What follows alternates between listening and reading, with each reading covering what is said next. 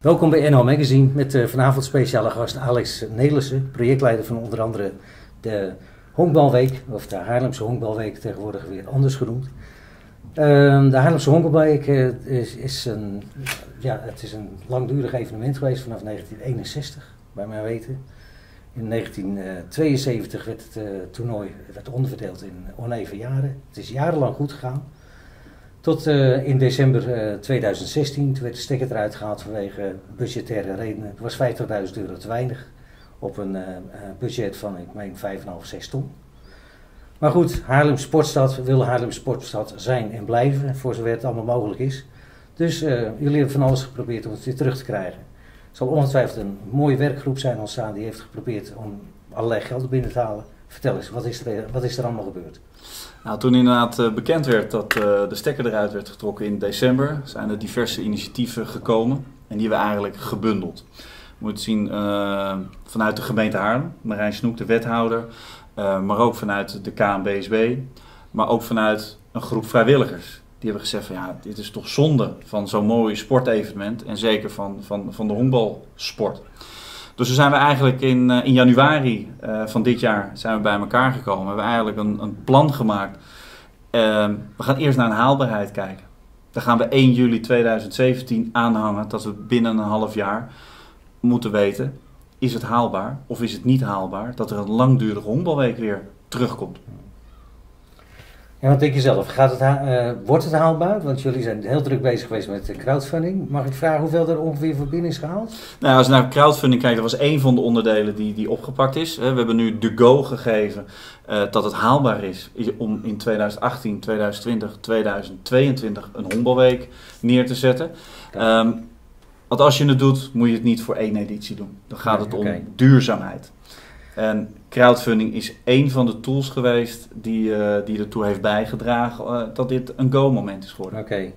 Wordt het weer een evenement wat uh, om, de, om de twee jaar wordt, of om het jaar wordt georganiseerd? Ja. Of is het elk jaar? Nee, het blijft nee. altijd in de, in de even, even jaren. in de oneven jaren is er een, een soortgelijk evenement, maar dan in Rotterdam, ja. het World Port Tournament, die afgelopen weekend uh, daar de finales uh, had. Die blijven altijd in de oneven jaren en de hondelweek dan in de even jaren. En dat, uh, dat bijt elkaar dus helemaal niet? Nee, absoluut nee, niet. Nee, nee. Het is alleen nog maar goed voor, voor de honkbalsport. Want elk jaar een internationaal toernooi is. Niet alleen voor het Nederlands team, maar ook voor het, voor het honkbalpubliek en voor de promotie van de honk- en softbal, softbalsport. Dus dat is alleen maar goed. Ja, en, en, en zeker ook met, met wat er aan gaat komen. Hè. Ja. Olympische Spelen, ja. honk en softbal uh, weer terug. Dus ja. wat dat betreft, en dat, ja, die berichten zijn natuurlijk ook wel in het achterhoofd meegenomen bij deze haalbaarheid. Ja, nou zeker omdat Haarlem dus uh, probeert, we hebben het interview met Marijn Snoek, ik weet niet of je dit blad kent, 023. Ik ken het wel, ik heb het artikel alleen nog niet gelezen. Ik zal het nog even laten ja. zien. Er staat een heel leuk interview in met, uh, met uh, Marijn Snoek en die probeert dus ook alles te initiëren om Haarlem weer als sportstad op de kaart te zetten. Dat zou met dat zou met jullie activiteit natuurlijk geweldig kunnen zijn. Ja, absoluut. Een, een honkbalweek uh, draagt daar absoluut aan bij. Uh, zeker ook qua exposure in, in de stad. Uh, in het afgelopen politiek sportcafé van eind juni kwam het heel duidelijk naar voren dat, dat ook andere verenigingen, wat dus niet honk- en softbal gerelateerd is, aangaven. Ja, de, de honkbalweek behoort echt behouden te blijven. Uh, want ook voor de andere sporten heeft dat een bepaalde uh, uitstraling. Ja. ben je zelf van mening ook dat Haarlem zich op deze manier weer zodanig kan profileren dat het inderdaad als een goede regionale sportstad kan worden gezien? Ja, absoluut. Waar echt internationale activiteiten kunnen worden ja, geregeld. Stapje bij stapje uh, moet je dat zeker blijven doen. Je hebt een prachtig honkbalstadion waar je internationaal het een en ander kunt doen. Er komt, er komt weer een badmintonhal bij. Uh, nog, verbeterd, nog meer verbeterd uh, aan de internationale status. Dus ja, zo stapje bij stapje uh, moet je zeker weer beginnen. Oké. Okay. jullie hebben ook veel contact gehad met Ron Schel van de KNSB-SB voorzitter en met directeur Bart Volkerijk. Volkerijk die wil geloof ik proberen om allerlei teams te gaan initiëren. Hoe, hoe zit dat precies? Zijn dat geen bestaande teams? Of, Ja, wel, jawel. We hebben gezegd van als we um, het nu aangaan, de Hommelweek, dan moet je dat met elkaar doen. Niet alleen als een organisatie en het Nederlands team is leuk. Nee, dan moet je ervoor zorgen dat, dat ook de KNBSB eh, daar zijn vruchten van afwerkt. Ja. Al is het promotie voor de sport. Hè, we zitten hier in Haarlem en omgeving met een Ja. ontzettend dichtbevolkt honk- en softbalgebied. Maar je moet het vooral nu samen doen. Het Ja. verbinden ervan. En vandaar dat we gezegd hebben, oké, we doen dit en met de KNBSB en met de gemeente Haarlem. En je doet dit met een groep vrijwilligers. En daarmee ga je, ga je aan de slag. En de, eh, de KNBSB, ja, die heeft natuurlijk de, de, de beste contacten op dit moment qua, qua teams.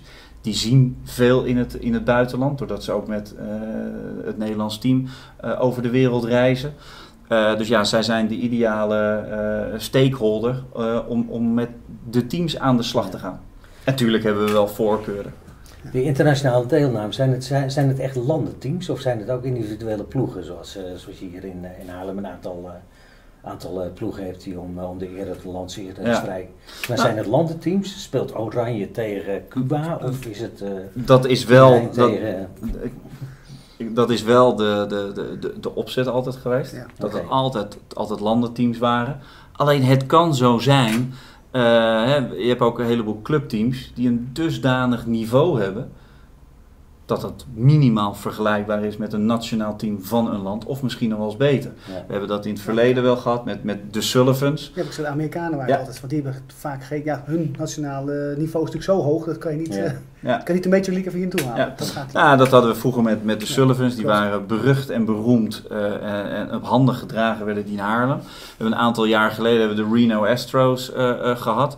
Eh, maar goed, ook, ook buiten eh, eh, Amerika ja, gebeurt er op dit moment heel veel. Japan is, is, is een hele, heel sterk, heel sterk land. Hè, waar ook een waanzinnige profcompetitie is. eh, en daar wordt ook eh, voorzichtig aan ook naar gekeken. Cuba was er ook niet een hele sterke?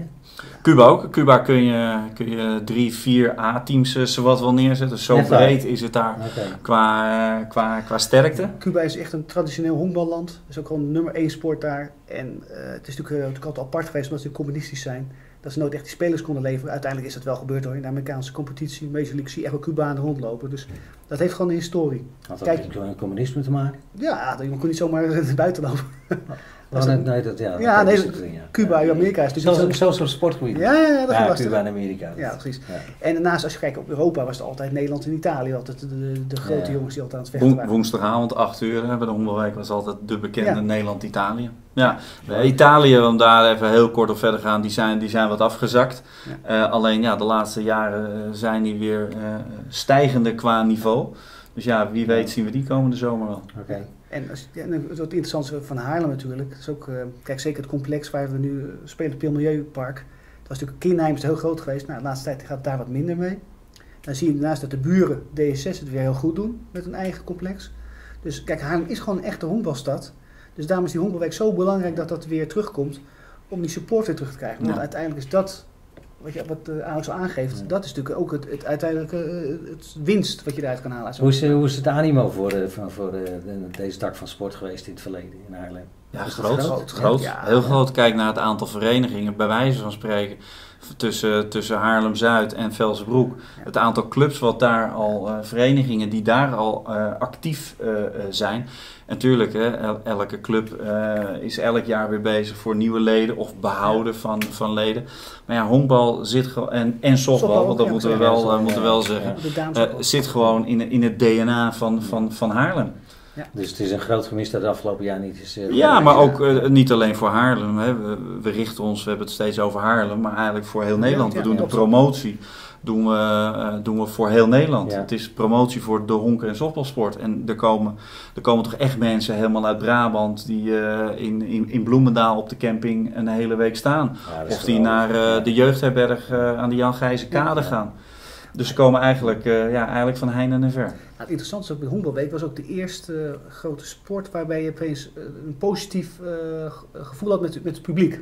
Kijk, maar voetbal is op een gegeven moment toch zo dat het door de haat en nijd onder elkaar zat. Ja. Dat je nooit bij honkbal. Als je daar naar, de, naar het toernooi ging, was altijd iets, er was altijd feest en je had altijd een of andere, was een muziekband, iets, er was altijd iets Ja. waardoor het Gezellig. anders was Ja. dan de rest. En Kijk, dat- het is natuurlijk een, eh, het is een invitatietoernooi.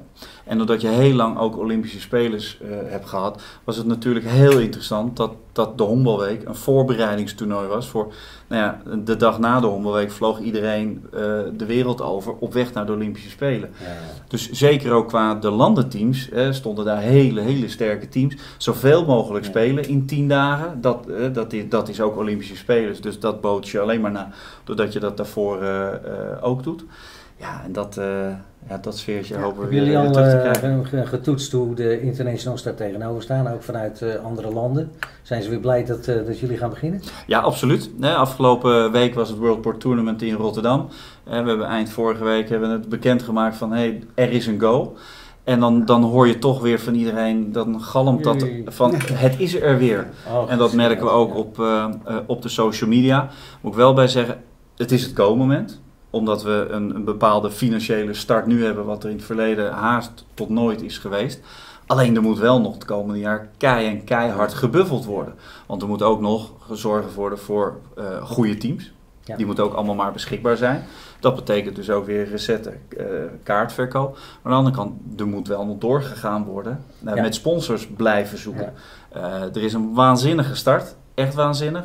Ja, alleen nu is het eh, vastpakken en, en, en, en doortrekken. Ja, maar zeker omdat het de afgelopen jaren dus niet is gelukt, is de continuïteit natuurlijk erg belangrijk. Je, Ja. je zult je nou waar moeten maken. Nou, dat is ook de reden waarom we hebben gezegd van nou, het is niet alleen 2018, Hm. maar we, we focussen ons ook al op 20 en 22. Ja, op- Anders was er nu eh, niet het, het, het mandaat gekomen van er is een go. Nee.